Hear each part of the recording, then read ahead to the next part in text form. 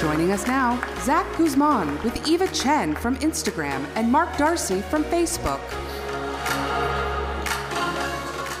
All right, everybody. Uh, we are going to keep the AMS train rolling with the panel and I think a lot of the uh, influencers in the crowd and the marketers have been waiting for all day. Today we have Mark D'Arcy, uh, Facebook's Chief Creative Officer, as well as Eva Chen, uh, as she's been introduced. I don't need to introduce her, but I'm going to do it anyways. Uh, Instagram's Director of Fashion Partnerships. Guys, thank you so much for being here.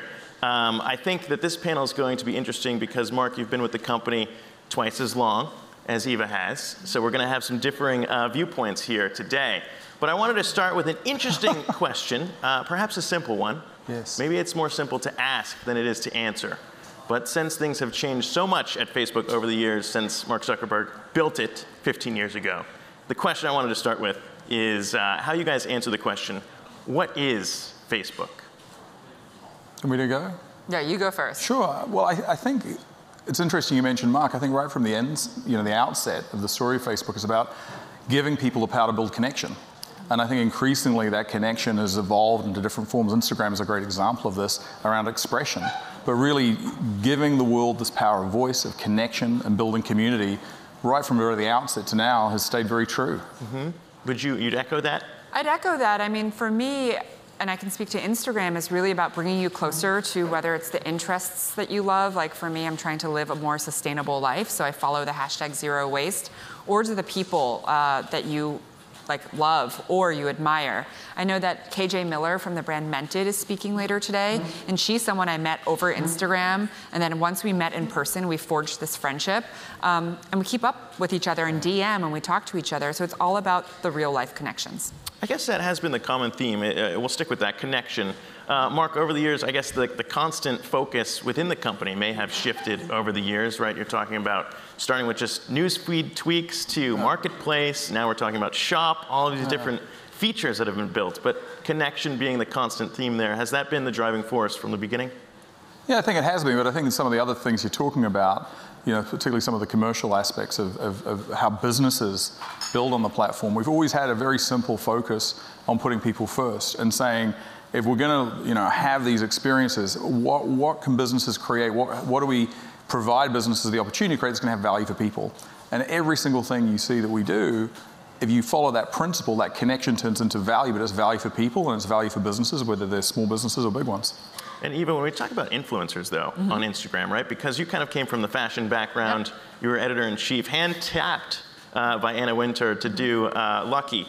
Um, when you shifted over from the fashion space to the tech space, though, and you were building out Instagram, what, what do you think you noticed most from being on the fashion side and then switching in-house with Instagram in terms of that connection piece? Well, for me, when even when I was a magazine editor, I became known as the magazine editor that loved Instagram, and so I would be backstage at a show, and a makeup artist like Pat McGrath would stop me and be like, "Is this is this a good post? Should I post this?" Um, and so it was a really natural transition for me personally.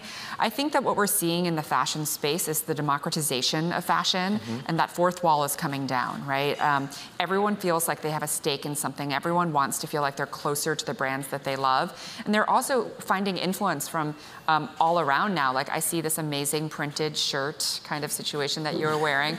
I am like influenced by you. I'm into that shirt. Um, and what people want is to be able to use Instagram as a way to get closer, yep. whether it's to customers or just fans or just like fashion enthusiasts. And I really think Instagram has allowed the fashion world to kind of relax a little. Yeah. I want to get into that uh, kind of breaking the fourth wall because we were just trying to promote this on Instagram before this. Okay. And you gave me some key insights here. Yes. So I want to ask you guys both about what brands, uh, what mistakes they might make when they're trying to use Facebook and Instagram to drive that message.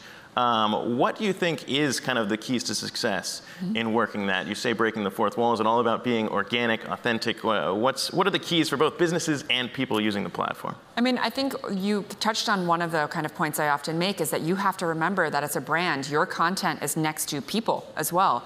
You're next to someone's sister who just had a baby, your college roommate who's on vacation in Mexico City. Like, your content as a brand is surrounded by a lot of other um, people. And so creating content as a brand that feels personal, I think is very important. On the, in the fashion side, I always tell brands, don't just post your lookbook image, please. Like that's like, it's boring. Show the behind the scenes, show like the hairstylist kind of like, you know, blowing with a, like a fan, like trying to get the hair perfect. Um, that's just so much more compelling. Like when we were backstage taking an image earlier, Zach was like, okay, let's take a picture. And I was like, okay, let's get some props. I've never let's, seen let's, anyone let's move so find our light. Let's change then, the suit. Everything. well, was no. terrible. I was wearing it was awful. color. It's awful. No, You it's made me wear the great. Facebook blue. Um, but basically, it's like, you know, bringing that personal touch, and video is so important as well, especially in the fashion space. Nothing tells a story more. Like, you can see a skirt hanging on a, on a, on a rack or just on a model, but when you see it moving and you see the pleats moving and the colors swirling, and you hear the music, it just really brings it to life. Mark, how much of that is actually uh, platform specific? Because we're talking about Instagram Yeah. being next to people, but how much of it is kind of the theme of what we're talking about today in terms of generations and what maybe millennials, younger people care about? Yeah, well, I think uh, you, if you look at Facebook, you look at Instagram, there's nuances to how businesses show up and create, but the consistency, as Eva's saying, is that authenticity. That you don't want to have an artifice of how you're showing up. It's got to come from a story you want to tell, how you want to express yourself. And I think that's true across the board. It's particularly true with generally younger consumers who are looking for purpose in the brands they connect with, that they invest in. They want to know the story. They want to increasingly, as Eva said, in sustainability and environmentalism. These are not um, trends. These are core principles of branding and the, and the brands that are, are really connecting. And that story behind the brand is an integral part of that. So your ability, our ability as brand marketers, whether we're starting out a small business or we're running the biggest business in the world, is our ability to do that and to do it fluidly across all the platforms. And just looking at it, some of the faces here today, I don't know if I don't know what percentage people actually are, are building brands themselves, but uh, your, yourself, your own Instagram presence itself can be a brand as well. Eva, you've built up a following of more than a million followers, and that's not just inside cooking. That trend was there before you were even at Yeah. Instagram. So I mean, what are I guess uh, people like talking about mistakes. What are some of the mistakes that you made along the way? Perhaps not good posts. Oh, well, they're all great. No. Um, I don't know. I, I think the main thing is like I just tend not to overthink when I'm posting. I think a lot of people, um, I have a friend who literally will take 20 minutes to post one Instagram story. Um, like stories go away in 24 hours, and you have to remember that each of you here, you're in this room, you come from like a unique perspective. You, you maybe you flew to get here, maybe you're here like representing a brand, but most of your audience won't be in a room like this. And so I think a lot of that storytelling and sharing the behind the scenes um, is important. Um, you know, uh, I was in Mexico City yesterday. I'm here today. Like. I showed the tacos I ate. I showed the people I was hanging out with. I reposted stories that other people posted about me. I just tend not to overthink it. But when I, from the brand perspective and even from the personal perspective, I think overthinking is like the death of Instagram. And I think that's probably when you look at if there's there's a lot of growth in a lot of different places, but stories as a form is is because of that, is because of the freshness of it, the ephemeral nature of it, the ease of it is giving people more places they can express in a different, less structured way. You know, and, and it's, it's really critical. Yeah, I mean, you're, you're talking about stories, but it's not just stories anymore. You guys just launched AR ads as well, so we'll shift to kind of the business focus there. Um, when we talk about AR ads, obviously marketers will talk about the way that an impression is not created equal across the board, right? So, what about these innovations at Instagram or at Facebook in the way that businesses communicate to the users on the platform is kind of at the heart of the connection as well? Yeah, well, you, over the years, if you watch the trends that happen, they're always led by people. Mm-hmm. So people move, people move first, businesses move behind them, and generally small businesses move more quickly than big businesses. And that's true if you see the adoption of these forms. And if you look at uh, Facebook, from being little ads on the side of a website to mobile to Instagram, the constant is developing more paint and canvas for creatives, for businesses large and small to build more interesting experiences. And as Eva was saying, with like the context of this marketing and this advertising, you, you know, we don't have the right to show up in these spaces. These are spaces that are built in a certain way, and as marketers, as creators, we need to, you know, create things that feel contextually right and rewarding. The thing with AR or polling or these different things is they create a dialogue, they create an interaction, they create delight or utility that people are looking for in their advertising. You know, advertising's transformation is the burden of expectation needs to be relevant, needs to be useful. It can't just show up and hope that it works, right? So the more we can design things that have value for people first, as I was saying, the more it's going to drive value for business. And I mean, uh, when we talk about Instagram specifically, now you guys have Shop as well. So I, I don't know how many people have actually interacted with the uh, AR uh, lenses there, but it's an example would be trying on a Ray-Ban pair of glasses to see how they look on your face. We just launched that. Yeah, or perhaps lipstick colors, if Yeah. you're that sort of thing. Kylie, Um, you too can have lips like Kylie Jenner. Talking to you in the suit over there. Yeah, yeah, sure. Uh, when we talk about that, though, and the push for shop, um, what, what are you trying to get out of that piece? I know, obviously, it, it's exciting to be able to have people check out through the platform, not have to leave. But what have you been seeing in, in launching that? So we launched Instagram Checkout about six months ago in March, um, and when we launched it, we launched it with a pretty small group of businesses that really hit a lot of different um, types of businesses. We had digital disruptors like Warby Parker or um, The Ouai, which is run by Jen Atkin, who is a celebrity hairstylist to the Kardashians. We have brands like Nike, Adidas, H&M, Net-a-Porter, Burberry, Uniqlo, um, and the goal really is that we know that people are inspired on Instagram. I've only worked at Instagram for four years, so half the amount of time as you, but like even before I worked at Instagram, you could see people saying like, I want to shop everything like this influencer is wearing, but I can't like I have to screen grab it, it's then saved, then I have to go back and find it, then I have to like look it up online, like red and black check jacket. We wanted to close the loop and just make it so much easier. Um, and so now, if you're shopping in any of these brands, if you're in the US, you enter your credit card information securely once, you enter your address once, and then at any of these brands, you tap add to bag, checkout, done, two steps. And so words that people have used to describe it is like, oh my gosh, addictive, dangerous, RIP wallet, goodbye money. Uh, but we really want it to be like a fun way to consume fashion and get closer to the brands you love. Yeah, and I think that's across all of business. One, you know, all of us are living in this world of just looking at things and wanting what we call reducing the friction, zero friction. So you, every step, every piece of design, everything we can do to make things easier, that's transformationally impactful to both the business growth and also the economic growth. So the more more we can put into that design element, so it's easy, the, the better that we think the experience for people is going to be. It's going to be better for business as well. And I guess the question would be if it's better for influencers as well. And right now, Eva, just real quick, influencers aren't getting paid through that if they're promoting uh, specific items themselves, right? Well, some brands and influencers, for instance, let's use Michael Kors as an example, they have a pre-existing relationship with someone like a Bella Hadid who's or a Gigi Hadid who's like in their campaign, but we are not a part of that. No. Got it. Okay. So I mean, you see the shirt, you like the shirt. If I you like the that shirt. one, Buying go the ahead and figure out Yeah, where it would let's be. do it. That's Yeah. the way that it would work. Um, Yeah. So that was a very interesting move to kind of launch shop. Another interesting move, though, when we're talking about influencers, was the idea that caused mass panic across the influencer world Mm-hmm. uh, when it was announced, which was the idea of potentially hiding likes. And I think a lot of people panicked because they're like, "Well, I don't want like likes to go away." Mm-hmm. Uh, that's not exactly what happened.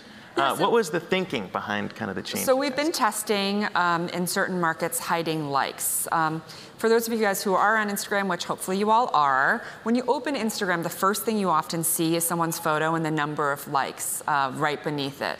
And the thinking behind hiding it or making it not the first thing we see is really just to free up expression and creativity.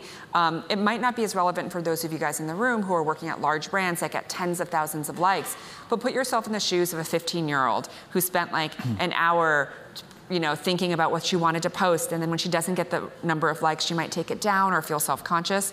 So Instagram really wants to be the safest platform and friendliest platform and kindest platform out there, and this is just one step that we're testing to see. Um, you know whether what the response is, and so far it's been very positive. I have to say, and I. Wait, I what have you seen? Well, I personally uh, have had this experience for a few months now, and I definitely feel like I don't really check the number of likes an image gets anymore because it's actually two steps to find the number of likes. And I just kind of feel like it's closer to stories where you kind of post and you're like, whatever, it's out there in the ether. And I definitely feel more liberated to post. Is it the same learning on the Facebook side? I was about to say, with someone with a thousand, one thousandth of followers of Eva, I feel the same way. yeah, we both I have don't the feel same. my social anxiety is also reduced. Yeah, we have pretty much the same Yeah, amount, yeah, you and I. We have a little bit of catching up Yeah. to do. Um, but what's interesting is, is that kind of concept is, is across both the Facebook arm and the Instagram arm as well. For people who are on the outside looking into the company itself, I think that's a question of how separate these entities are when you guys are working on things like that. Are, are you guys pretty siloed? Is it the Instagram world, the WhatsApp world, or, or is it all of these worlds working together? Well, I think we're very much one company in, in, in many senses, and from a business standpoint, which is where I spend my time. um, you know, what marketers, what all businesses want is they want the, the, the, ease of being able to access the potential of all of these platforms to reach people where they are. Mm-hmm. And so we work very hard to make that simple, whether it's from an ad, creating an ad in one platform and being able to distribute it everywhere, to making sure the learnings, um, you know, are shared so that the design principles are shared across all the platforms. It's just easier.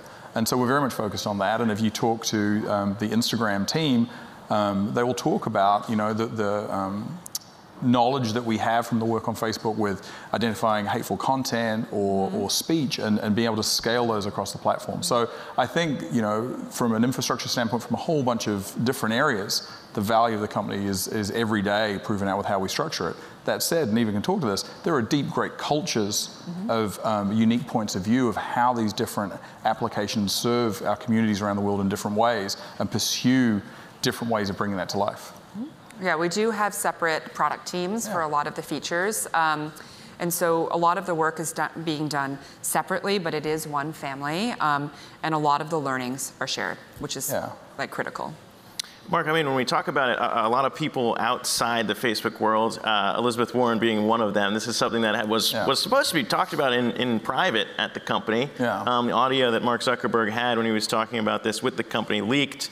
Uh, you know, and if you're talking about each of these learnings being shared across the company, one of the questions that a lot of people have would be, what would happen if these entities were broken up?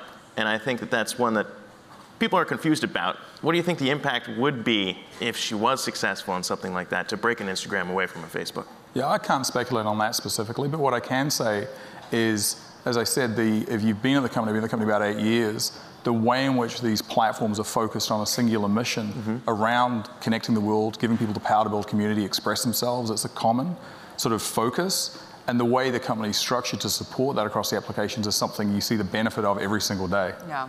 Okay, I, and businesses see it as well. We just announced today 140 million businesses are using each of the applications, and, and the vast majority of them use all of them in a, in a different way to connect and grow their businesses. So that's the connection I spend most of my time with, and you see the benefits of it. Mm.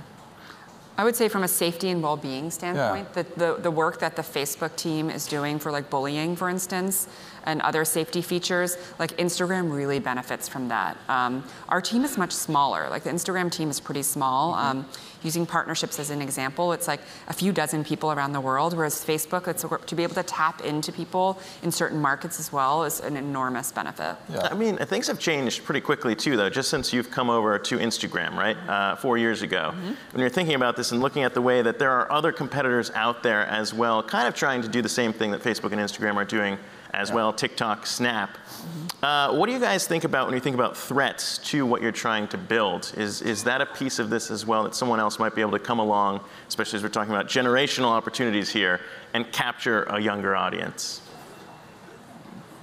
I don't know. I remember the day we launched Instagram Stories, um, and a designer friend of mine literally called me and was like, why are you giving me more work to do?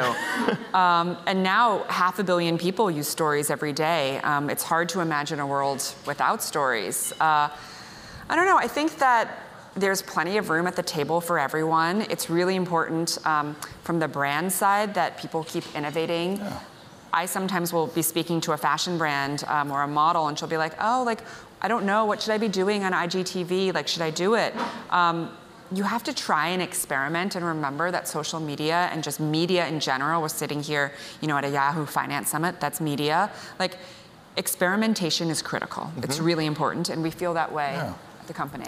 Yeah, and I think, look, there's new players all the time that are really interesting in how they build and the different ways each of us are going to choose to, to both create and consume content that we're making. But the big macro shift, and I think this is probably the, the biggest thing if you look over the last five, ten years and going forward, is we're at the start of this massive shift in empowerment, where for most of the time, and I look at Yahoo, most of the time through the internet, there was a few people, and before with the internet, a few people who had all the power to create what we saw. There is a fundamental shift that our audience, whether they're our customers of our businesses or our consumers of content, they're making more content than we are. Mm-hmm they have the same tools. They have the AR tools, they have the story. They're creators. So your audience has not only the ability to listen, mm-hmm. but to create, to co create, to comment. And that dynamic is a fundamental shift. So they will constantly be evolution in the tools and the different applications and platforms that compete to be the best one for different jobs they want to do. And that's a good thing. Sure. I, I, think that is a good thing. Uh, just to wrap, I know you guys, uh, Eva especially, you've just got back from Mexico City. You're, you're running on red eye energy right now. So I appreciate you giving us that much time and sticking through all of this, but appreciate it. Mark D'Arcy, Facebook's Chief uh, Creative Officer, and Eva Chen as well, Director of Instagram's uh, Fashion Partnerships. Guys, thanks so much. Thank you. Thank you.